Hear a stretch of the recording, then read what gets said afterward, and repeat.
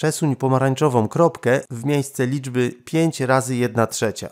Jeden ze sposobów jest taki, że przesuwamy kropkę o 1 trzecią pięciokrotnie. O 1 trzecią raz to będzie 1 trzecia. Drugi raz to będą 2 trzecie. Trzeci raz lądujemy w 3 trzecich. Czwarty raz dotarliśmy do 4 trzecich. I piąty raz i jesteśmy w 5 trzecich. 5 razy 1 trzecia równa się 5 trzecich. Albo można powiedzieć 5 jednych trzecich, czyli 5 trzecich. Zróbmy kolejne przykłady. Przesuń pomarańczową kropkę w miejsce liczby równej 2 razy 4 trzecie. Ok, 1 raz 4 trzecie to 4 trzecie. Lądujemy w 4 trzecich. Jeżeli przesuniemy się jeszcze raz o 4 trzecie, czyli dodamy do tego 4 trzecie, czyli przesuniemy się stąd w prawo o 4 trzecie, 4 trzecie dodać 4 trzecie to 8 trzecich, czyli lądujemy w 8 trzecich.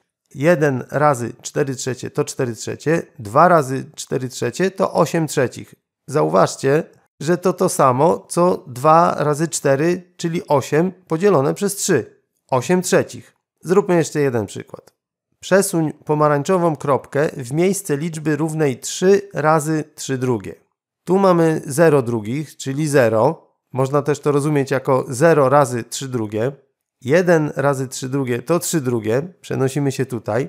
2 razy 3 drugie, dodajemy kolejne 3 drugie, czyli lądujemy w 6 drugich. I 3 razy 3 drugie, czyli dodajemy kolejne 3 drugie i lądujemy w 9 drugich. No i zrobione.